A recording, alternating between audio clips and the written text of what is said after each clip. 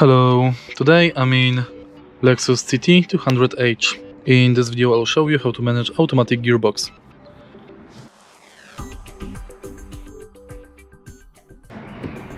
In the beginning let's take a look at the center of the car. Right here we've got the gearbox lever. If you press the P button, you will go to parking mode. Now if you want to change gearbox mode to reverse, push it left and upwards. If you want to go to neutral, push it left. And if you want to go to drive, push it left and downwards. You can see your current mode right here.